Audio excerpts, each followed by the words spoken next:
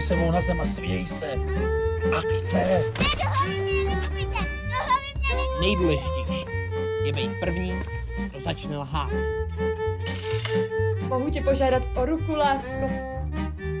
No, teď, když si dole by mi nikdo nemohl vyčítat, že to dělám pro peníze. Víte aspoň, kdo zatím stojí? Hele, všichni berou. Ty nevíš, jak cítíme uspokojení. My nezávislí novináři.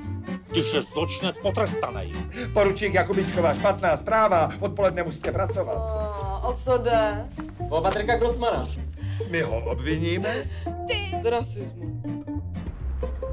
Proč ses nechal vyslíchat bez advokáta? Zalíbí, že mě z toho vysekal právnický šejdíř. Nedáme špeka.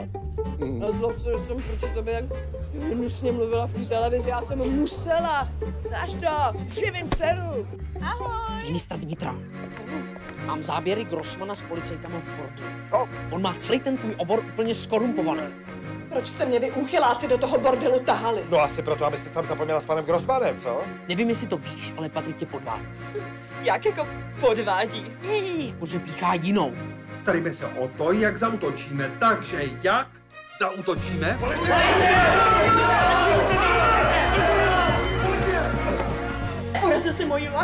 to nepochopil. Jsem zvědavá, co mi ukážeš, až přijdeš.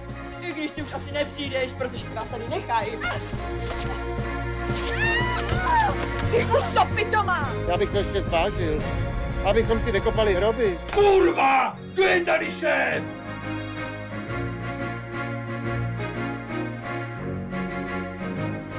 Každopádně, já jsem vaše jediná naděje. Beze mě tady schníte. Vy tady schněte. Vy. A já odsud odejdu.